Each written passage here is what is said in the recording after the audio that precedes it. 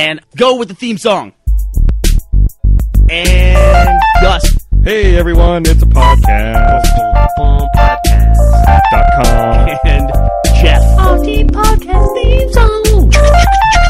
What? Joel's gonna sing the theme song. theme song. This is the theme song, and we're done.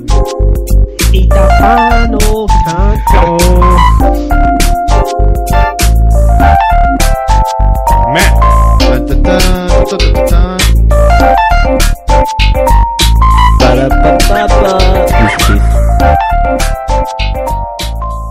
Get comfortable. And I gotta pee already. Pee break. Ironically, I just peed. Did you? two seconds ago, You're, yeah. re- you're ready for the podcast. Ready for the podcast. Pee break is over with. Geoff, I always hear that you and I sound alike, and I actually mistook your voice for my voice in that. So Oh, now- really? Now I'm a believer. Before, I think uh, both of our wives get confused when they call in. They always think we're the other person. Has, has that ever resulted in sexy mistakes? Dude, we're married. There's no such thing as a sexy mistake. See, Jeff and I would have to be part of that equation for a sexy mistake, so that eliminates all the sexiness. If our wives mistook our other wives for us, that might make a sexy mistake. Hi-oh. I think I saw a movie like that once uh, in a hotel. Oh, did you really? Yeah, it was pretty good. Was it on your recent trip to Orlando when you watched Hot for Words on uh, your ho- hotel television? It was it was really bizarre watching uh, watching Hot for Words, uh, you know, on a HD TV instead of my little tiny YouTube window. You know the thing about the hot for words chick? I want to do her. yeah. I want to put stuff in her. you know, I never, I never get to the That's four, so romantic. the, to the four words part. I'm always stuck. I get stuck at the hot. The what part? The, I get stuck at the hot part. The what? The, yeah, but what part don't you get to? I never even heard of that. Oh, the words part. I see. Got me there. Yeah, yeah. Wop, wop, wop. That's that's comedy It's etymology made sexy, baby. Something about a Russian chick too. because you know they're desperate. You think that's what it is? Yeah, totally. She's Russian? Yeah. Well, it's kind of like they're all scary, you know, because you grew up with like being afraid of them, and then you find out they're hot. it's like Yeah. in The Sopranos. Yeah, and they know how to pronounce really long polysyllabic words. Nice. See that? Look, Look at you. You've been watching Hot for Words, I'm haven't channeling Tycho today. You read enough of Tycho's blogs, you just pick it up. Okay. Well, the the Tycho reference brought you guys to I a know. halt. What the fuck was? Like, that? Well, we were. Th- everyone was ready to talk about Hot for Words chick, and now we're, now, we're- now we're talking, talking about, about- Tycho for Penny Arcade. I was I was talking I was yeah, I was talking about fucking a Russian chick, and you bring up young Donald Pleasence. here, here comes the bucket of ice water. Bam! hey, so it's a sheath drunk tank. Yeah, hey, did you see that? Speaking of Tycho, did you see that uh, those guys who do the Mario Marathon, where they play Mario every single damn Mario game ever made, they play them in a row for Child's Play and take donations, and they did it again this year. Yep. They dominated it. What did they end up with? I don't even know what their total was. I didn't realize they were done yet. I think they were like when last I checked, I think they were like in the high teens. Did they have Thousands. to beat each Mario game? Is that They the- hundred percented them, I think. Does that include like how deep does that go? Does that include like that PC only Luigi time machine t- like time travel game that came out during the NES days? That was a PC game. Yeah, I have I have it for the PC. I can uh, read you all the titles right here if you'd like to read. I'd what like they to- played. I'd I like would to hear love that. to hear them. These these guys raised twenty eight thousand dollars. Okay. For Child's Play. How awesome is that? Okay, hold on one second. Can they here. raise twenty eight thousand dollars for my home renovation? Here's what they played. Here's what they played. They played Super Mario Brothers. Okay. They played Super Mario Brothers two. Oh, I played that one. They played Super Mario Brothers three, Super Mario World, Super Mario sixty four, Super Mario Sunshine, Ugh, Super Mario, Mario- Sunshine. yeah, Super Mario Galaxy. Okay, then there's different levels. If they got different levels of donations, they would have to do certain. You'd like this, Geoff, like achievement levels. Sure, sure. Uh, they hundred percented Super Mario Brothers, which I guess means played every level with no warping and stuff like that. Same with Super Mario Brothers 2. They hundred percented sixty four World Galaxy. They played Mario Paint Rick Roll. What the hell is that? Well, I know what Mario Paint is. Did they have to make like a Rick Roll video using it or Uh, something? it sounds like they Rick rolled their own audience, which you know, we'll for, they're they're raising money. We'll forgive them for that stupid shit.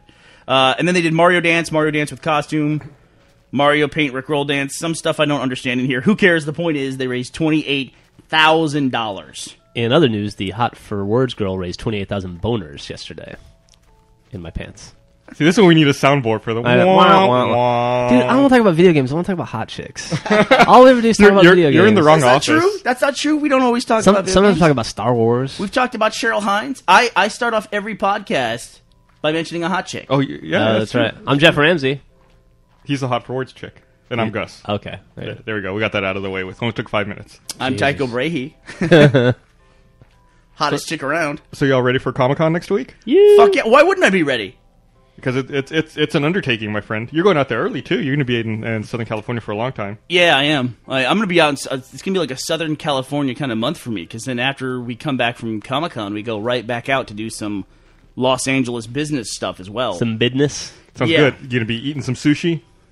no, I, I Killer Shrimp? Killer Shrimp, man. I go to this place in uh, Marina Del Rey called Killer Shrimp, which is basically a bowl of awesome with a huge loaf of bread as a side. That's, that's the only location left, right? The Marina Del Rey. Yep, one? Yeah. yep, yep. It's too bad. There used to be some other ones like in I know my geography. I have a great sense of direction.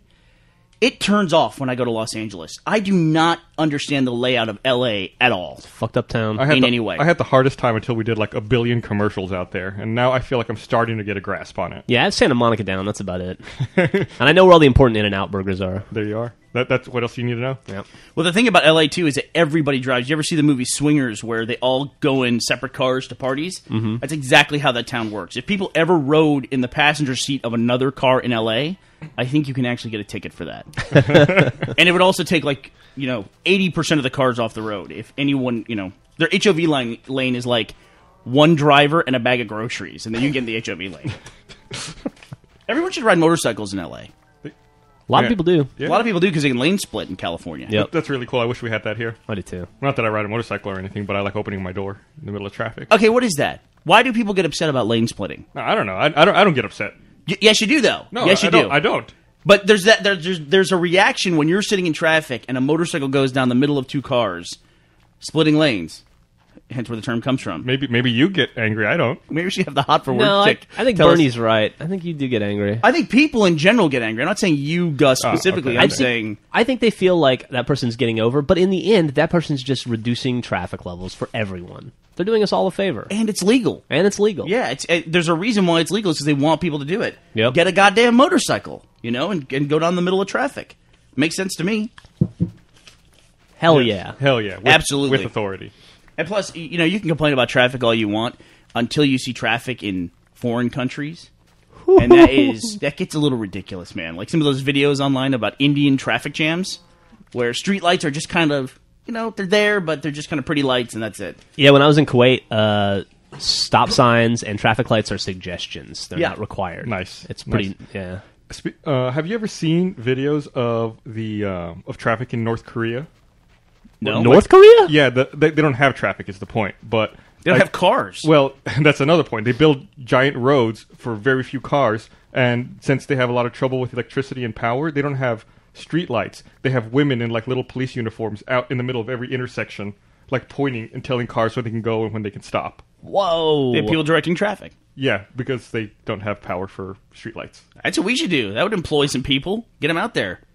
I mean, I, I, how many times are you sitting in a red light when there's no traffic in either direction? You're just sitting there in your car idling, That's right. you know, waiting for your green light. You'd, I'd like to have a person there going, "Go ahead, take Yeah. it easy, a move on. Forget, fuck this light.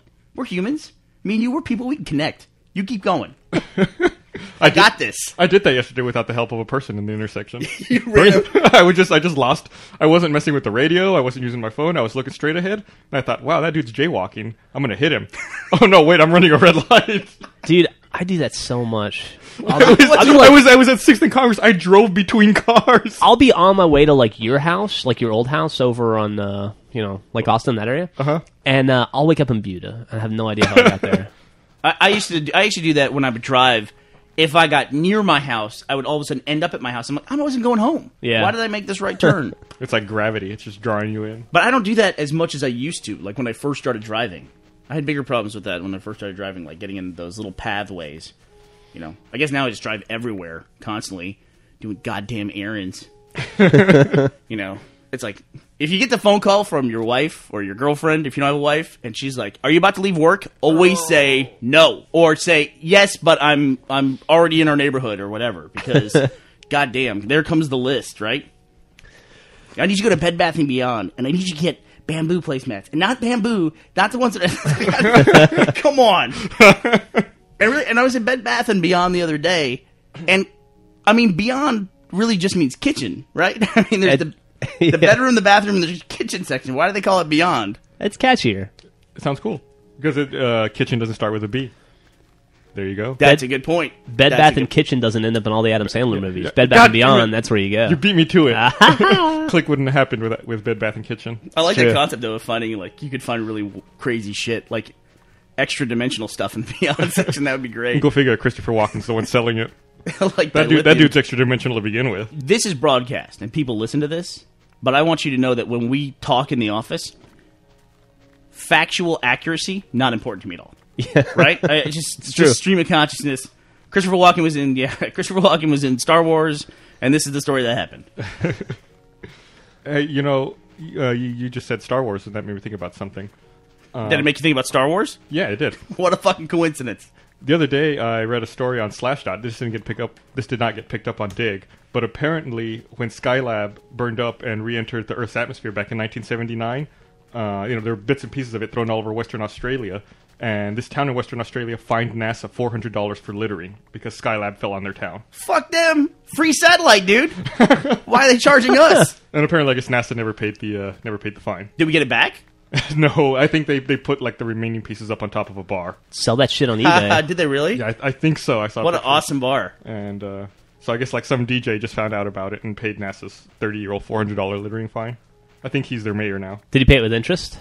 No, no, Well, the dollar's dropped so far, he actually went up in value. The Australian dollar. the dollar we do. By the way, if something lands in Western Australia, how the fuck do you tell? Because everything in Australia is on the eastern coast, Sydney and Melbourne and all that, and then Perth, which is way the hell out on the western coast. There's really nothing in the middle of Australia. Internment camps. Yeah, well, Aborigines. What internment camps? Yeah, What- dude. They lock they lock people up there. You got a fucked up version of Australia. You better be careful what you say; they'll get you. No, uh, and if you're listening from Central to Western Australia, I apologize for you know. Yeah, ju- we, we apologize for where you live. Yeah, Al Franken's going to run for Senate in Western Australia. You know, people got really upset about that, and in the comments of our last uh, drunk tank post, there was a very heated political debate. I don't know if you kept up on it. yeah, people people like talk about politics. What Yeah. was what was the Good debate about? Um, uh, the people were debating Al Franken's politics. First of all, I was wrong.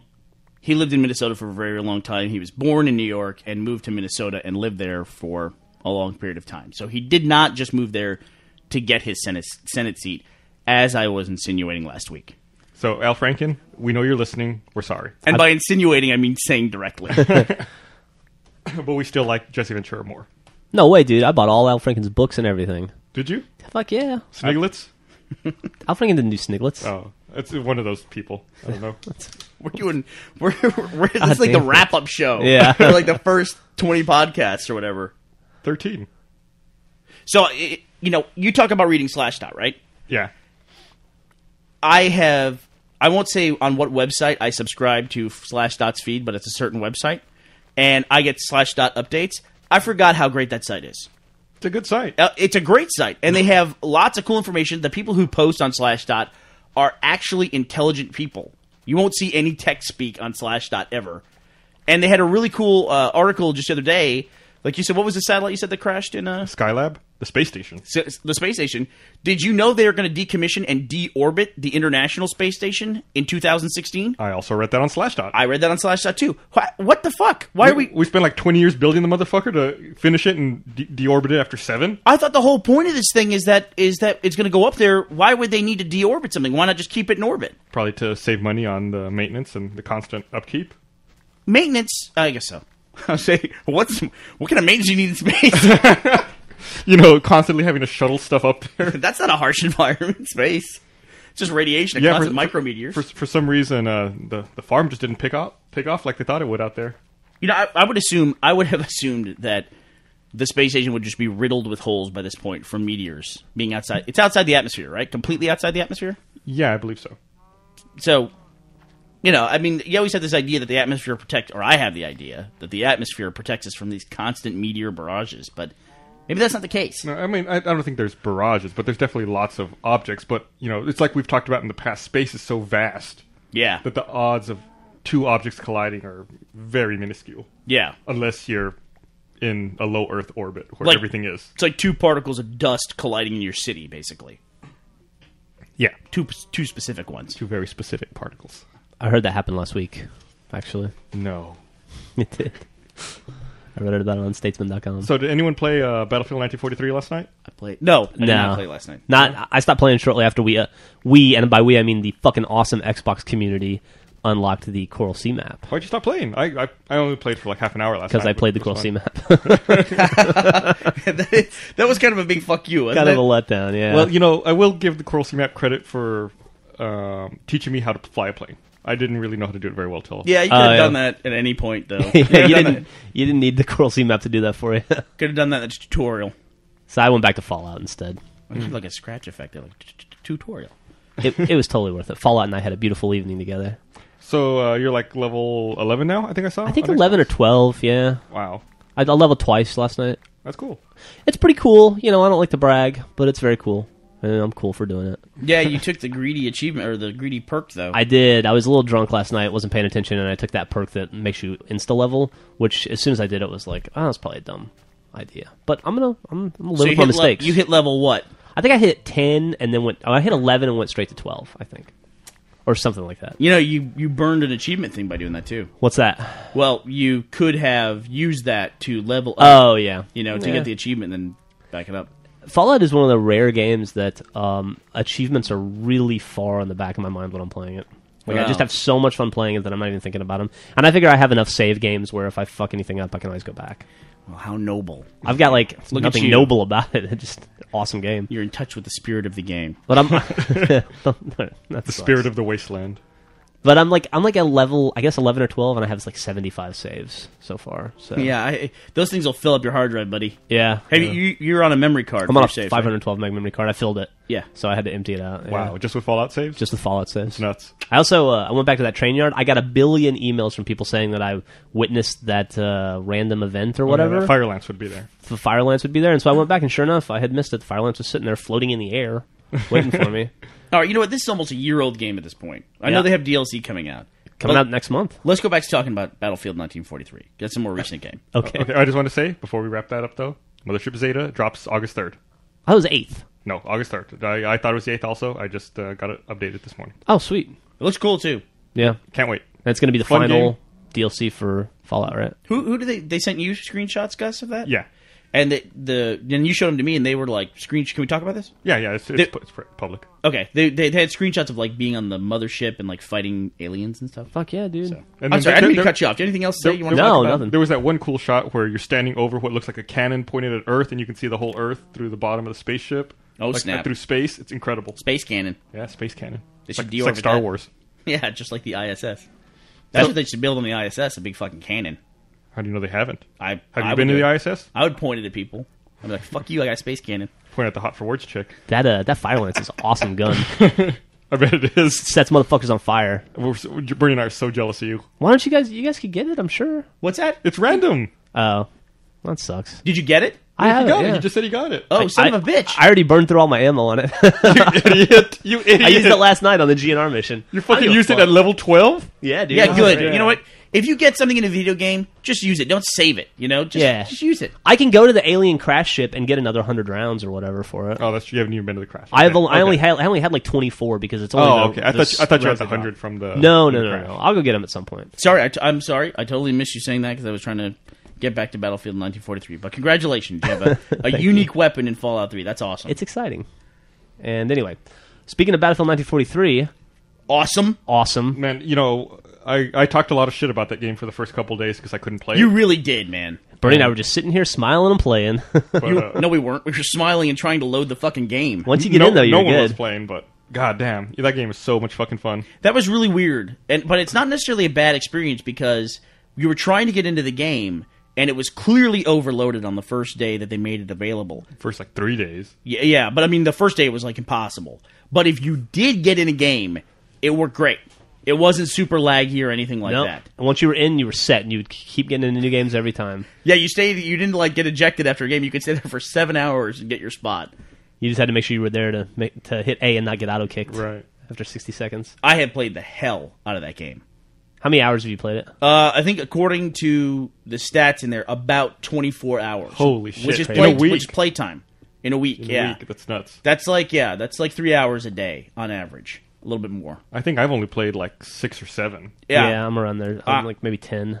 Uh, and a match lasts about 15 minutes. But to me, that was. I, I kind of got out of video games for a while. Like, I grew up, you know, playing.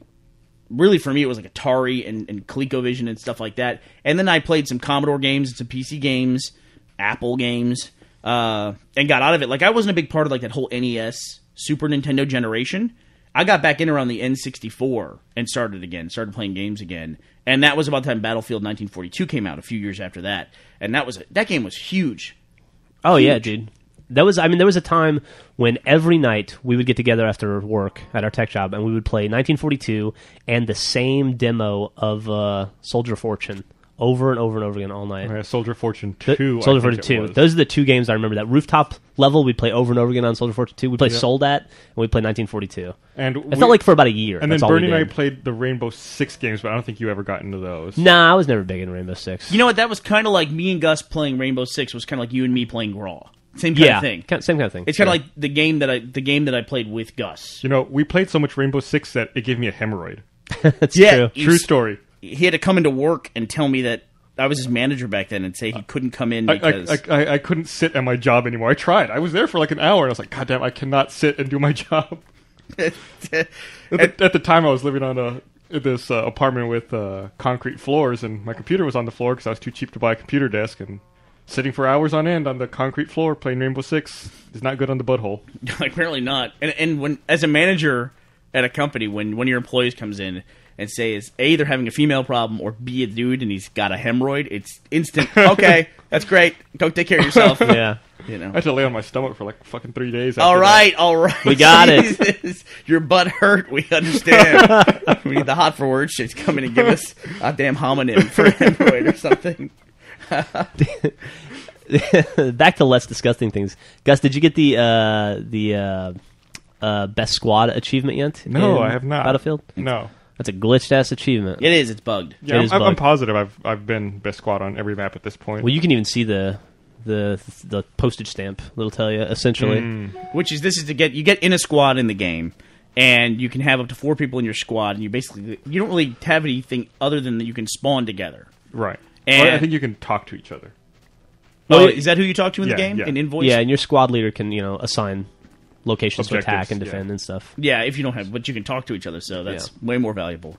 But um, and then then at the end of the game, they will award top squad, and it seems weird how they assign that. That seems bugged. In I think itself. it's just point total amongst the squad. yeah, but that's not always the case because I've true. I've been in games where top squad was one dude who had a lower score than me, and I'm in a squad. Hmm, maybe it's average score. I don't know. Who, who knows? Anyway, the uh, That game's got bugs in it. Like when you go to leaderboards and you compare with other people. yeah, You Once you you're get on- once you get past the first page, all bets are off. yeah, the game has flaws, but it's a great game. fun, fun game. And if anybody's having trouble getting that best squad uh, achievement, everything I've read online and from my personal experience, the best way to get the be- best squad in every map achievement is not to be in a squad at all. I got it for coming in. I got it for coming in fifth place on Wake Island, not in a squad. Well, It congratulations! just popped up. So And just so you know, I got it. I was in a squad, and I had gotten top squad dozens of times. It felt like on all the maps, and Iwo Jima was the one I was in top squad the most. And then one time I got top squad in Iwo Jima and got it on that round, and it, it was probably my you know eighth time getting it on Iwo Jima. So yeah. there's no, I, there's really no explanation for it.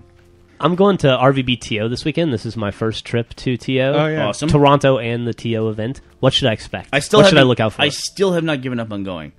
yeah, I, even with everything, RVBTO is an event I always want to go to, and it, it's always right before Comic Con when we have about a billion other things going on. So it's very Yeah. difficult for me to bust away or Matt to bust away. Yeah, it seems like they they really put the dates back to back this year. yeah, they're right Could, there. Couldn't have gotten much literally, closer. yeah. But what are you asking? What should you do? Yeah, what, what should I expect, having never been there before? Uh, It's awesome. Is there any places I should eat or anything like that? No, they'll have everything. They do everything. I mean, they got the whole thing planned from morning to night. So Expect lots of Tim Hortons. I'm it's Toronto. You should call Ed. I'm not good with plans. You should call Ed, call Ed and talk to him. Ed's doing a new album right now. oh, I don't want to bug him if he's in the studio. Yeah, I don't know. I mean, you stop by. You never know. I mean, it's kind of that environment where you know, just take him out to break him away and take him out to lunch or something like that. Yeah, Take I'll them on, that. Take them on a date. I, I was reading. I was reading that they're, they're recording their first their, their first album without Steve as a, as a quartet. Is that the right way to say that? Sure. And um, they have a big green egg in the studio outside, and they just like basically cook meat all day and record songs and go out and have ribs. You say they have a big green egg? You know yeah, what? you know what that is, it's, it's a it's a special kind of grill. It's a big ceramic. Like egg, like a big green looking ceramic grill, right? Yeah, and supposedly this thing is like you can set it to a. It's a wood burning grill, or I guess you know it's not gas. You can charcoal or wood or whatever you want to put in there, and the airflow is like just right because it's egg shaped, and you can set the temperature right, and you could cook things for like eight hours, twelve hours. I've never heard of this thing. Oh, yeah. Burnie was was going to buy one for a while. That's all I know about it. It was always like he always had a window open on his desktop. Hmm. I was. He was always like almost pulling. You know the thing that Burnie does, where he's convinced he's going to get something and he spends a month looking at it and then forgets about it and moves on. I, That was I one of those times. I am a very thorough consumer when it comes to buying The best is the best is when you do that for airplane tickets, yes, and then we have to go somewhere and we don't have plane tickets.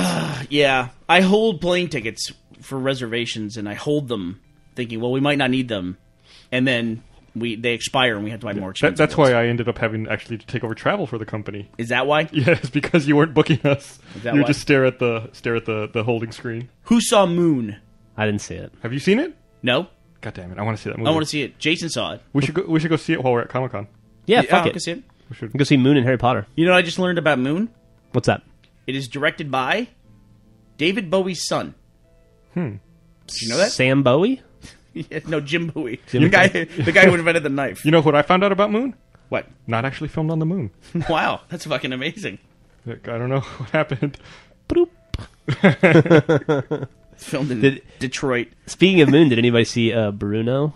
No, No. not gonna really have much interest in that. I, I'm, I'm really not that excited about it. I'm sure I'll love it if I eventually Same see here. it. But The marketing killed me. I just I, like I got so overexposed.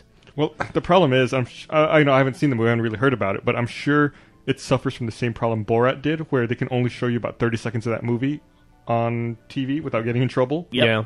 All the reviews are fantastic for it, but I just like every time I went to a website for the last four months, I feel like I've been staring at a Bruno ad. It just beat me down. Yeah, it was always that same shot of Bruno in the Like yellow the lederhosen. Yeah, Yeah. Looking over his shoulder. Yeah, Warm me out. exactly. Yeah, it was constant. It was was. constant. It was it was like the only image on the front page of Digg for about a month and a half. Yeah, and all my celebrity gossip sites too. Yeah, you read a lot of How those, don't you? Yeah.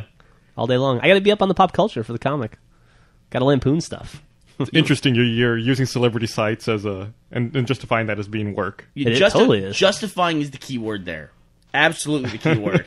Because Geoff does two things now. He does the comic and he does Achievement Hunter. Not not just two things. I do those a are little, little something called Red vs. Blue. yeah main con- main content stuff that you're like the lead on. That's what you do, and it allows you to watch to read gossip sites all day and play video games all day. Dude, this goes back to Drunk Gamers when Gus and I sat down and said we want to make a, a website. What do we like? What and can- we liked getting drunk and we liked playing video games. What can So I you do make that your life? here at the office so that I can watch porn and jack off all day? Uh, yeah. that's, that's the angle I need to start working. Come up with a, a fucking like a porn news site, dude. Geoff's gonna start doing liquor reviews next. Should. That's- Dibs. that sounds awesome. that sounds called it. awesome. And David Bowie's son, his apparently his name at one point was like Zbop Manuel or something. You know, so one Sure. of his, yeah, Yeah. like Moon Unit Zappa or something. Mm-hmm. and he changed his name to Duncan Jones. Duncan Jones. Duncan Jones. I'll look up his name right now on my. Is that the first movie he's directed? Moon. I don't know. I just I didn't even know. I just found this out on the way to the office today that Duncan Jones is David Bowie's son. Da- I guess an Iman was his mom. Huh. He was uh, also known as Zowie Bowie. Zo- Z O W I E. C O W I E. Zowie Bowie. Oh, that's bad. I'm always curious about names of domains for websites that they pick. Okay. And where does Snopes come from? Does that mean something? I always thought it was like a, a playoff of Snipes I thought it was play off of Snoops. I thought it was a playoff of Popes. because they don't exist. Where's the hot for word chicks when you need them? oh God, are we gonna have like? Is that gonna be a new thing, like the etymology of uh, domain names? I mean, it, would- it would make sense. Like we we talk about possibly even changing the achievement hunter name and domain to something that's a little bit more palatable and can be typed easier. Didn't you have? Uh, It's insanely difficult to find anything. you, It is. You had an alternate name for it that sounded kind of gay. What was it? uh, it was, Say it. Say it. Say it. I'm trying to think of something funnier than the real domain. Say What it. was oh, it? it's funny. Say it. yeah, God damn it. I, you're making me laugh. I'm not embarrassed. I, I still own the domain achievemen. Oh man. That sounds like a motivational book Or for does. gay dudes. It's like a, I'm a- willing a dating sell it. site for gay men. yeah, Achievement. Achievemen. Achievement. If anybody's interested, hit me up. I think I've got to register for another two years. Yeah, but it is. I, it- well, I heard at one point about seven years ago that every domain name that was four characters or less had already been registered. Every Yeah. possible combination. I just heard a weird statistic. Uh oh. You know, swine flu got big here and then went away because nobody gave a shit. What are you, what are you Because talking it- about? no, I'm saying yes, but uh, come on, I'm a sire. I was actually sighing thinking about how it went away, but it's coming back. Right. Well, you know, it's it's becoming a big problem right now in Australia because this is flu season in Australia, and this is now a global pandemic. Right. One thing that they've noticed about this disease, statistically, is that it kills fat people. Whoa. Yep. That's that's who's most at risk for this, and they don't know why. So you're walking around with a giant bullseye on your tummy right now. I don't want to put myself in the winter in a So- higher risk group. Was this like biological warfare engineered to kill Americans? Is that what, is that what we're discovering here? It's an, it's an interesting thought. It's a very interesting thought. Black helicopters Yeah, no I mean, if you're going to hit the heaviest people in the world, you're going to hit Americans and Samoans. and Samoans Houston's about to be very empty. and anvils if they can catch diseases. So, swine flu will be back in the winter. Yeah. and we'll we'll wonder like, oh, what were you? You know, why? I thought this went away. I thought this wasn't a big deal. And suddenly, everyone, you know, it'll be in November, and everyone will be panicking again and wearing masks and all that garbage. I couldn't buy fucking hand soap at the store when uh, people were scared of swine flu this last time. I'm sure Matt was hoarding it. That's so dumb. What is that parallel? Something we've all read, a science fiction story where a disease kind of came around and everyone got all hyped about it at first, and then it went away, and then it came back big. World War Z. World War Z. That's exactly right. Oh yeah. Booyah. there was that, that. That was a really prescient uh, channel or chapter for that guy where he talked about how the zombies kind of perked up. Everyone labeled it African rabies, and then it was suppressed, and everyone just ignored it. It became kind of the background noise for the world until it reached that critical mass where it was everywhere all at once, Yeah. and the world was taken over by zombies. Great book. Great book. I think we may have mentioned it a few times in the podcast we, before. we may have mentioned it once or twice. it's like You know, it's like the new Bible. you know. I really hope that we get a chance to play Left 4 Dead 2 at Comic Con next week. Yeah, me too. I'm God. I want to play it so bad. If uh, I, I emailed Valve asking if we could, and they ignored me. Did you email that other dude that I Yeah, sent? and I emailed the other dude, and he ignored me too. Damn. What, what other dude? Some, some other dude at EA who does marketing is having like some special event, and So EA is releasing all Valve stuff, basically. well, they uh, I think they're publishing Left 4 Dead 2 on the 360. Is Yeah. that correct? Uh huh. So So we're not gonna get to play it. it does well, they're not replying to my emails. I guess they we don't do anything in video games, so you know. Yeah, we're not- We're not video game journalists like those kids at Kotaku. Yeah, I guess so. so we, we, we don't we don't get to play video games. You mean when they come go out. copy paste press release, click submit? God, maybe that's what we need to start doing. Maybe that's what I should. I get all the press releases. Should I just start fucking reprinting them? Sure. When they send you a picture of their swag, just put it up on the page and say this is the stuff that's going to be in the collector's edition of the game. You know, go buy it and just pass it off as news. Just copy and paste it. Go for it. Then we'll go. Then we'll all be playing Left 4 Dead 3 before Fuck it it, comes we out. can we can release some mediocre content too. You know what? Valve should have probably released Left 4 Dead as downloadable content anyway for free. My opinion. now the bitterness kicks in. Uh, Let's go, motherfuckers. Jesus. You know, Valve. Um, we talked to them.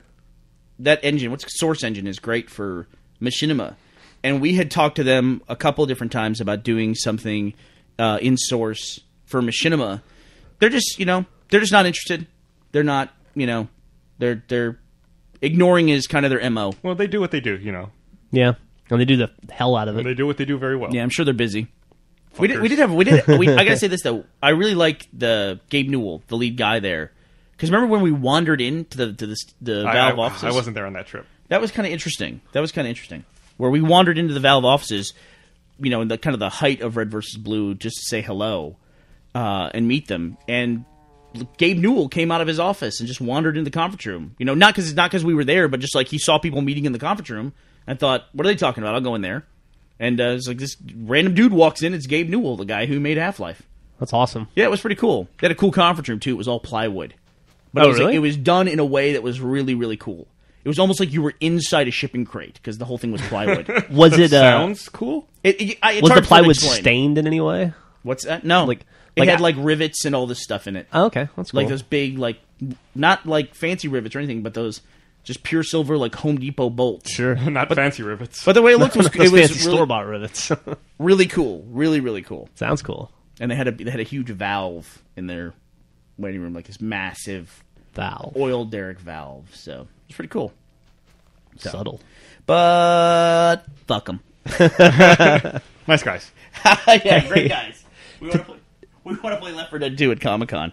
To touch on uh, something that we were talking about earlier with the etymology of domain names, Gus, you told you were telling me you started to tell me a story this morning that I wanted to continue about the etymology of certain video game companies' names. Oh yeah, I, I, I didn't want to mention that because I wasn't sure. You know, I haven't had a chance to fully research it and make sure it's uh, it's legit. But I was reading a story about the origin of the name Coleco for the company that made you know ColecoVision and video games way back when.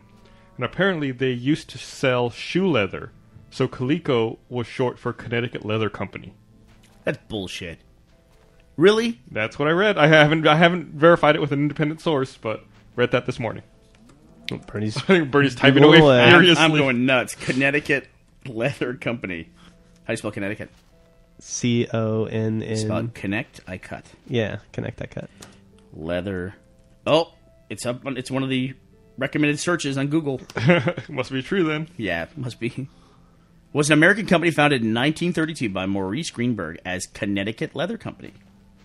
I It became, true a, then. it became a highly successful toy company in the 1980s, known for its mass-produced versions of Cabbage Patch Kids, kids, kids, dolls, and its video game consoles, the Coleco Telstar and ColecoVision. I didn't realize they did Cabbage Patch dolls too. I learned that when I read the Connecticut Leather Company. That's a thing. fucking powerhouse, an '80s powerhouse right there. It has closed. Its properties and brand name have been sold. Wonder who owns that now. I wonder if we can buy that. I'm sure Google. Did you hear that Amazon might buy Netflix? Saw that. That they're interested in it. somebody asked me on the site in my personal comments saying you guys talk about netflix a lot on the podcast is that a s- is that a service that you would recommend absolutely right Oh, hands down. I've been dude. recommending it for six years. Netflix is my television now. You know, since I canceled cable, I have Netflix streaming and Hulu and Amazon Video on Demand, and that's it. If you have an xbox there's no question that you should have some level of a netflix service Absolutely. just to get the streaming Yeah, Absolutely. definitely. yeah yeah abs- i agree Yeah. I, I, I think I use Netflix streaming on my Xbox every day. I think every day I watch something. Yeah.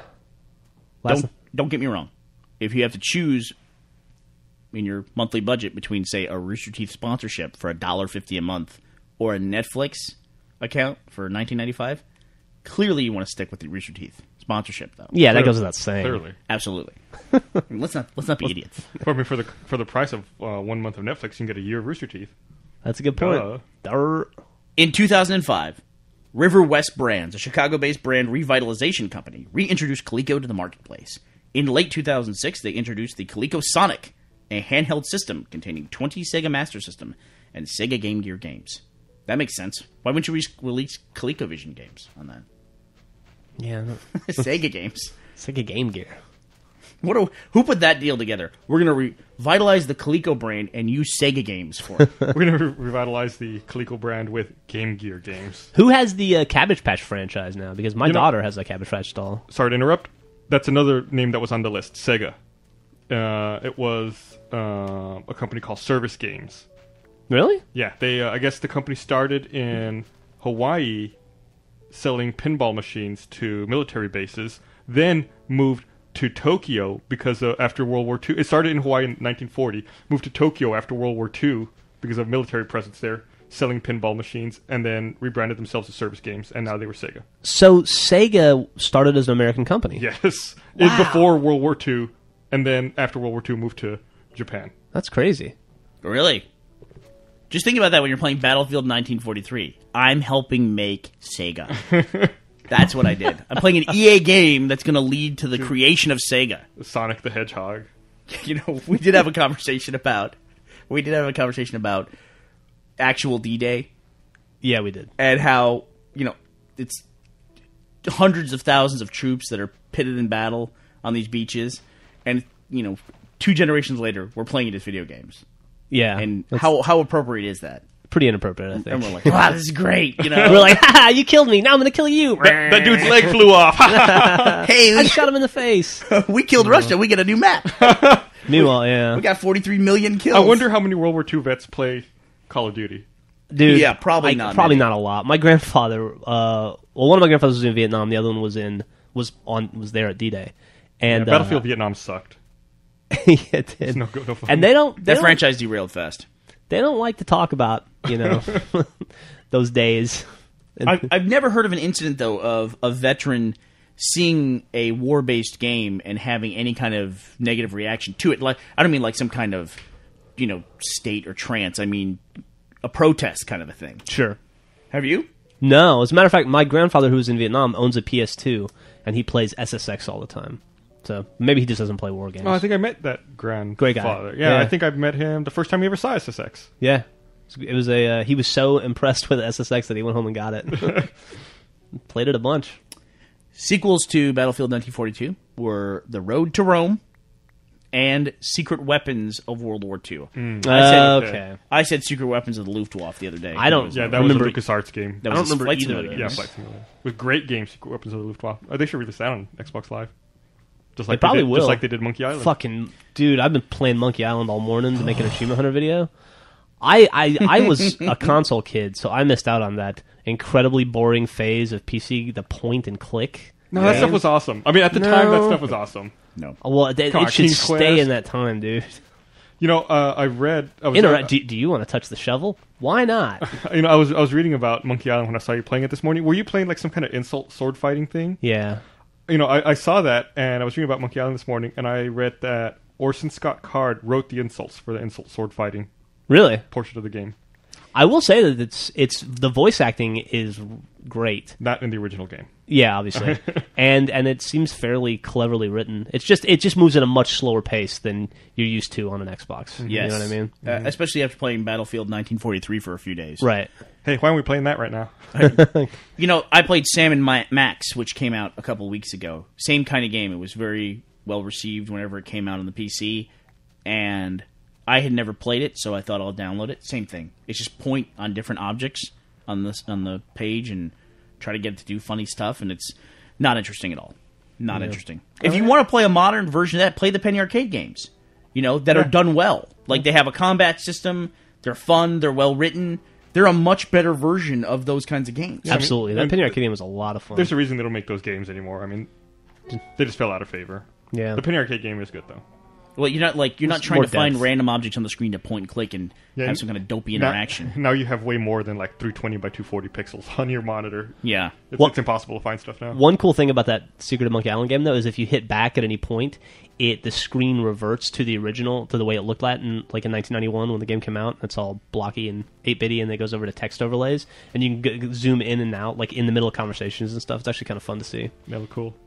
What's that? Yeah, it looked pretty cool. Uh, yeah, it's, it's pretty awesome. I'd like to see that actually. Yeah. I like that historical stuff. Yeah, and they, they do it really well. And it's like flawless. Like you'll it'll you'll like zoom in in the middle of a conversation and you'll and they'll, they'll pop the, the the right text up and you can be like mid sentence pop out and they'll just like the transition's really great. Mm-hmm. So if you were going to recommend a game from say the 90s or earlier to end up on Xbox Live Arcade, maybe a cult hit, what would you want to see end up there? Populous, Populous, that's pretty good. Oh, that's an interesting one. yeah. Or or how about Original SimCity? original SimCity, The would be 2D good. one, Yeah. you know, just the planning one.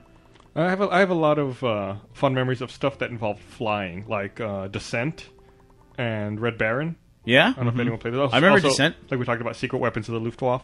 Out of This World would be a great one for Out of This Xbox World, Live That would be Arcade. interesting. Yeah. How about I- I original I Grand Theft. Auto? What was that game you played that seemed like the sequel to Out of This World? Gosh, what was that called? I'm sorry. Go ahead. What did you say? The I was just gonna say the original Grand Theft Auto. Yep. Star Top Control one. Two. God, I- no, Star Control 2. That that wins. That that would be awesome. That would- that would just be it. having the melee with the ships on uh, That game still fun. Yeah. You can you can download that game for free and play it. Still fun. But Battle, Battlefield 1943 is a big time game changer Yeah, it is. because that game is 15 bucks and it really is a full retail game. It's you definitely get a, yeah sixty dollar value out of that game. Well, there's, there's no single player, but Who cares, dude? Already seeing people complain. I'm just saying that that I wouldn't call it a full retail experience. It's not a sixty dollar game. I think it is. I think it is too. I, I, I played that game way more than I have played a lot of games I paid sixty dollars for. I really have. Look at most FPSs. I mean, like Call of Duty or Halo, you play through the single player once, and then you spend the rest of your life playing multiplayer. The single player is really just a primer to get you ready for multiplayer. Hmm. I think. You know? Yeah. I mean, Shadowrun was full retail.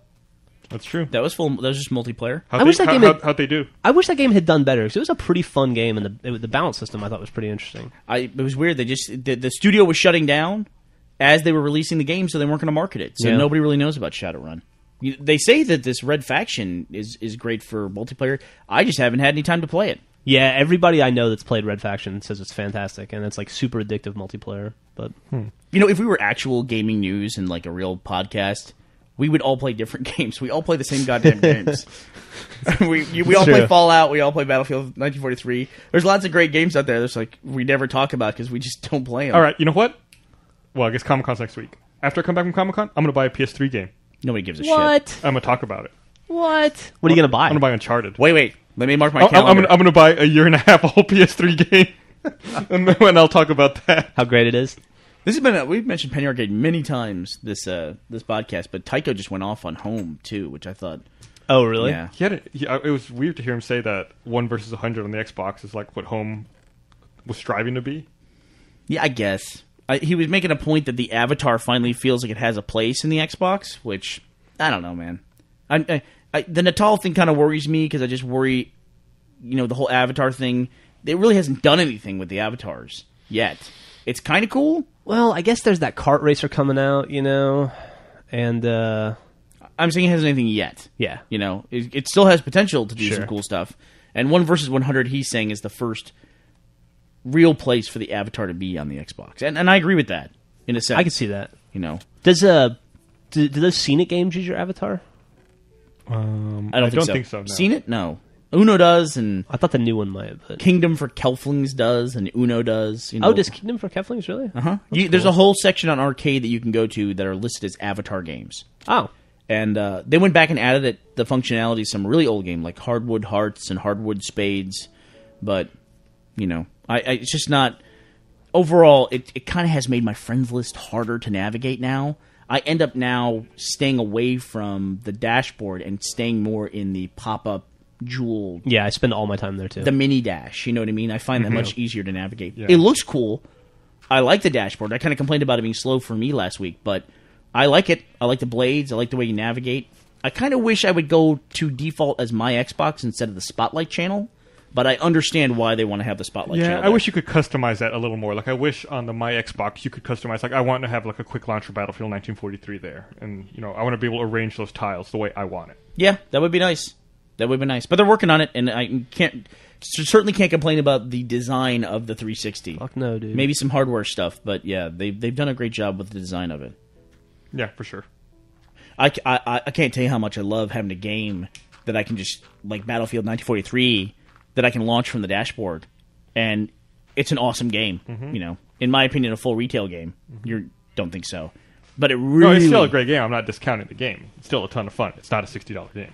Oh, I don't know. Burnie's put 24 hours into that game. That's Right. more than you put into a lot of retail games. Yeah, but Hell it's, yeah. it's still only three three maps, and like if that was Yeah, a but- sixty dollar shelf game, we would be complaining. What that is there's it? Only I wouldn't. I mean, what's it matter how many maps there are? If it's, if it's three maps that give you a sixty dollar value as opposed to ten maps that don't, I mean, No, wait, Gus, Fuck, Gus dude. you're right. Gus is right. totally right. Uh, Gus is right. If it was a sixty dollar game, I'd be like, "This, what the fuck? Three I mean, maps." and it's, it's also a little different. Like people are going to say, "Well, Left 4 Dead 2 is only going to have four maps." It's totally different.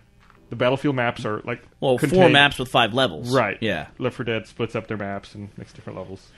And plus, it's really- Valve, and they're too cool to talk to anymore. plus it's four maps now. I still think I still think Valve should have released Left 4 Dead 2 as an experience. and I'm going to stick to that story until they're nice to me. Maybe we should sign sign some kind of petition, make some We- change happen.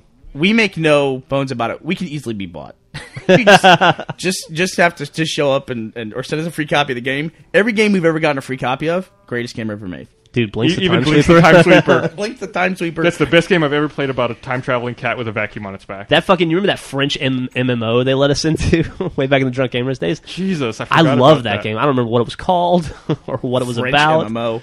but they gave it to us and I loved it. You know, I will say this though. They though. got our highest rating ever. Yeah. that 12 Bli- out of 10. That Blinx the Time Sweeper game that they sent us for free. We have mentioned that Fuck yeah, dude. how many times? Millions. So if they ever put Blinx the Time Sweeper on Xbox Live orig- or Xbox Originals, bang, You know, Yeah. download. They'll get fifteen bucks back out of me. Blink's the Time Sweeper is kind of responsible for starting Red versus Blue. Then for starting Rooster Teeth. It is. Kind of, yeah. Thank you.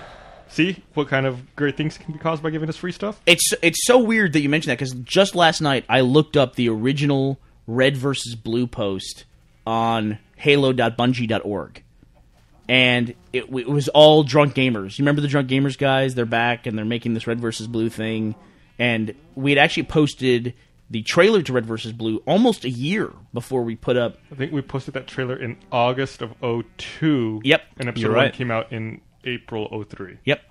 Took us a long time to make that first episode. Like nine months. we just stopped. We just weren't Yeah. going to do it. We We had other stuff going on. you know, had the idea. It's so funny too. I was like trying to look at the evolution of it, and there's no mention of machinima at all. Like, uh, like as Red versus Blue is what machinima is. Before we even knew what machinima was, that what we were doing was called machinima, and I was trying to find like what was the first instance of the word machinima being used on Halo.bungie.org, and I had to like drill for a while to find it. And it was actually Hugh Hancock. I was gonna say. I was gonna say. What did Hugh Hancock say? Yeah. I was gonna say that. It, it was Hugh Hancock talking about machinima. Really? Yeah. On HBO? Yeah, it didn't explain what the term meant or anything like that. It's so. crazy. And then it's like, and then and then yesterday, I think there were nine posts about that had machinima in them. The word machinima in in the actual post. So That- crazy. That's, that's a terrible word. Way too many. Uh, polysyllabic words needs to go away. Remember, we made fun of it when we first heard it. That what we were doing was called machinima, and it, it was originally called Quake movies before you know before it kind of got kind of got bigger and you know people started doing more stuff on consoles. And um, the uh, we heard the word machinima. We thought we're not going to use that word. That makes no sense. We're going to call what we do something else, and we're going to call it what render vision. Render. Yeah, we vision. came up with a I bunch still of think dumb that's a way better, way better name. People look at the word machinima. No one knows how to say that. It- I didn't know how to say it.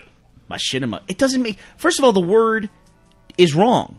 Right. machine and cinema, it shouldn't have that second I. It should be machinima, like M A C H I N E M A. But then it's machine Emma. But cinema and machine both have that E in that place. There's no I there. Oh. I'm not gonna.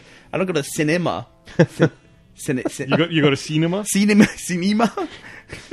so cinema. Anyway, so it was, I thought it was interesting. I was taking this little trip down through that, and then I got on the Drunk Gamer site, the archive site, and I had made those ten Halo videos before Red versus Blue. God, were there 10, really? There were ten. I didn't know there was ten either. I And, remember uh, like two of them. I remember you sniping someone out of a warthog. Yeah, it was awesome. I did my flat spin stuff too. Oh, yeah, I yeah, remember the flat yeah. spin. Yeah. and um, and then there was just random gameplay stuff where I'd play with people on uh, GameSpy, which was I think excellent. Xbox. Connect. Xbox Connect, that's what it was. Booyah. And uh, there was a lot of stuff in there. You know, I found my open letter to Angelina Jolie. Oh, yeah. I found uh, Still hot. my interview with my wife for Soldier of Fortune. I'm going to backpedal for a second. For people who might not remember what Xbox Connect was, before Xbox Live existed on the original Xbox, if you wanted to play Halo over the internet, you had to plug into a router and use like a third party piece of software on your computer to find other people using this software on their computer to kind of do matchmaking for Halo over the internet. And a ton of people used it. and it was laggy and it was the f- it was fun as hell. Yeah. and everybody was undefeated. Remember that? We're an undefeated team. We've never been beaten by anybody in Halo. You know, and then they would they would never the not internet. be host. Yeah, they would never not be host. That game really suffered. If you could not use the sniper rifle if you were not the host in those games. Yeah. But it was fun, man. It was a lot of fun. I, re- I really enjoyed those games. Back in my day, we had to suffer to play Halo on the internet. had to walk uphill with our packets. It was it was upstream both ways. Man, that's the fucking joke of the week right there. yeah. Uh, yeah, uh, I- it just makes me wonder. You know what I mean? It was a lot different back then too. You even look at something like piracy, which we've talked about before. Is if people had to go through, you know, I mean, everybody thinks of themselves like this big hacker, like they walk around with their fucking iPhone and their goddamn apps and their blogs, you know, where everything's basically cookie cutter for them. You just basically fill out a form, you know, and that makes you an interesting person on the internet, you know. Yep. Nobody even makes a goddamn website anymore. You know, if you look at like even like some of the shows that are out there now that are big on stuff, you go to the show and like say Fred on YouTube, and you go to Fred's channel. He's number one on YouTube, number one on the number one network, and his website. Nobody goes to his website. Nope, it's not even in the like top hundred thousand sites on Alexa. Ah, I know it's like these are basic fucking fundamentals of of getting stuff done. I guess you know there's a different path that people can take now where the internet is becoming like this farm system for other bigger things. You know, where I want to get noticed on the internet, and then I want to go off the TV or go off the movies, which. You know, good luck with that. First of all, you know, but, but build a goddamn website. You know what I mean? It's just the same thing with Learn, bands learn too. your fundamentals. Everybody's fucking slam dunking, right, Gus? Nobody's dribbling. Gotta, gotta Like- fucking get the get the basics down. Every single band has a MySpace page, and that's their official website. And there's nothing worse than wanting to find out about a band and having to navigate through their shitty MySpace background and all that stuff. Want to find tour dates or you know how the band got started or whatever. It's why the MySpace pages, MySpace pages are so shitty looking. It's because these are people that can't build web pages. Mm-hmm. Yeah. You know, You know, you're talking about everyone being a hacker and how and things like that, and how cookie cutter it is. I read a fucking scary article the other day going back to Slashdot. Um, I guess there's this proof of concept hack out there where people can keylog what you're doing on your computer through your electrical power outlet. What? I guess the keyboard connectors inside computers are unshielded, so as you're typing, the resistance going through the elect- for the electrical impulses for your keyboard generate tiny variances and fluctuations that affects your draw of power from the wall. So if- if someone else is plugged into the same breaker as you, they can plug in a special device and then plug it into their computer and have software interpolate, filter the noise out, and then get your key logs. fuck, that's awesome. So, I mean, even just plugging your fucking computer in, if there's a hacker in the building on the same breaker as you, they can see everything you're doing. Dude, that's fucking nuts. I said this to my wife last night because my wife is a very conservative lady, and we tend to get in. I, I think of myself as being middle of the road, kind of leaning one way or the other on either issues. But she's talking, she, you know, she's in the whole Obama socialism thing, right? Sure. Which is kind of, you know, we have to have these discussions like socialized medicine and all that stuff. You know, here's what's going to happen. You know, you know, doctors are going to be not be able to provide surgery. And it's like there's no bill that says this. You know Yeah. what I mean? There's Right. nothing. You know, granted, we're on that road. We could head towards that anyway whole political discussion we get into with my wife. But what I was trying to get with her with this whole socialism thing is that everyone's so focused on the political powers that be as being they're going to introduce socialism. Nobody's looking at what the internet is doing to the consumer mind. You know, for entertainment, for cost of goods, for you know, just the way we spend all of our time and our value of what we put on a service. That's the internet is the most socialist thing you could possibly imagine. Sure. I mean, you have people taking stuff that in the real world has a price tag and a value, and they're telling you it has no value. Right, right beside it, you know. Yep. Just in parallel, there's this whole socialist thing going on, and everything on the internet is free. And the moment something becomes paid, or God forbid, even puts a fucking ad up to help pay for stuff, people are like, "No, this is inappropriate. This is intolerable. we cannot stand this." You know. Except it's a weird kind of socialism because it's like a few levels of participants and then a lot of viewers. You know, Yeah. a lot of uh, you know, it's not it's not a, it's not even spread. You know, which is why sites I think go up and down. You know what? I, for one, welcome socialism and welcome Star Trek. Where's my fucking spaceship? Dude, I you know nobody's complaining when our socialized fire department shows up to put your house out, you know. Whoa, whoa, whoa! Hey, hold on! Did we turn into a socialist podcast all of a sudden? Well, you know, saying. firemen wear red for a reason. That's all Cool, I'm saying. cool your jets there, comrade. that, that's the problem. Is the hot for words becomes like a gateway truck. It's like, well, if fucking socialism could provi- produce Ivana over here, what is her name? We should get her name right. Yeah, that's a good call. and uh, you know maybe it's not so bad. But I just thought it's not going to come. Changes don't come the way we expect them to come. No. is what the point I'm trying to make. Yeah, of course. Very very long winded example of that. All right. Well, I think we should probably wrap up. We're going a little long here. I got to look up the hot for word chick. now. What do you want to uh, what do you want to go for lunch today, Gus? Uh, we had Chick Fil A already. Yeah, I'm going to have a real lunch though. Marina Orlova. Oh, she's so Are, pretty. are there any weird accents in that name? nope. No, no weird. They have her name here upside written- down or backward letters. No, she has she has her name here written in Russian though, and that looks looks crazy. You can totally see her boobs on her Wikipedia page. How how old is that chick? Twenty seven. Wah, wah. No, way. no way. That chick is not 27. Maybe in Russian years. What's the conversion rate on that? I bet the Russian birth certificates are written in pencil. What do you think? That chick's 35. I guarantee you. Who cares? well, it doesn't matter. It doesn't matter. But I don't think she she doesn't appear to be 27 It's to me. not a 27 year old. but she is she's awesome, super hot, and filled a, like found a niche that's like she's in there doing it perfect. I love it. I hope she's on the internet for 30 years. Absolutely. I hope she gets her own talk show where she just mentions words all day. Hope it's a video podcast. She's fucking awesome. uh, anything y'all want to talk about before we wrap up? Yes, I want to talk about something I thought was a good idea story wise, and you kind of mentioned it when you were saying Star Trek socialism.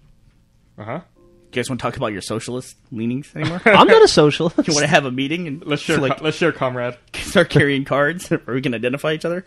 Um, we have this notion that we contact extraterrestrial life, that we're going to get a radio signal, and we're going to come in contact with another planet, right? At some point. And that message will be very clear. It'll be a very happy, scientific message, and we'll start communicating with people and it'll be this wonderful relationship, right? Sure. what if what if we contact a world that's like ours and we reach this alien race and there's these nations that are divided and they're like oh don't talk to those guys talk to us you know like there's several competing radio signals from the same world like if, if extraterrestrials contacted us i could see that happening like we would not provide a unified message of life on Earth Especially back like during them. the Cold War, for instance. Yeah. Yeah. They'd be like, oh, don't listen to the Americans. They think that, you know, they have this thing called money, you know, and socialists are crazy. They're all these, you know, groupthink people. It would just be interesting to, like, come across a world where they're split and divided, and that would seem so ridiculous from such a far perspective, you know? Yeah. I'm starting to sound like a socialist. One world view. But it's just, I, I just thought about that. Like, what happens if the first message we receive from an extraterrestrial uh, world would be a divided message? We receive competing signals. The from first the same message world. we're going to receive from an alien world is going to be a fucking laser bolt to the head. Yeah, probably so, right? God damn! If we ever receive a radio signal from an alien planet, I hope to God we do not reply. Laser bolt to the head, huh? Do not want to. Reply. What are you talking? we send out satellites that I have know our DNA i- information. We're idiots. yeah, pretty dumb. We're idiots. That's the dumbest thing in the world. Here's how to destroy us. Here's our weekness. Yeah. Aim for the penis. This- yeah, these are our soft parts. God. Yeah, that was that's crazy to think what could happen with that. yep. Crazy to think. You know, I was uh, reading this uh, article Stephen Hawking wrote the other day about how intelligence is not necessarily the ultimate form of evolution.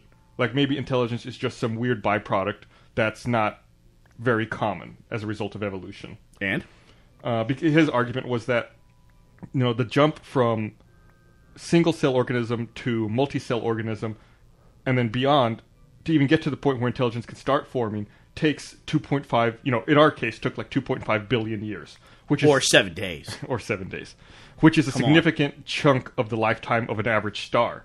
So you know, most of the time of you know that a star is burning, you have life that isn't even intelligent yet. Intelligence ends up being a small sliver of time in uh, when you look at like a cosmos perspective of a world. Well, sort of kind of organic stuff in Yeah, general. well, yeah, but if life starts that was my early enough- scientific analysis. Organic so does kind of organic stuff like- as well. So, you know. so his argument was that we, we may not find very much intelligent life in the universe because it might be just be a weird byproduct and not a destination. Or we might just be at the wrong window in time. Chances are that we are Right. for that particular species. Right. Yeah, nah, he's in a wheelchair. oh, to him. He talks weird.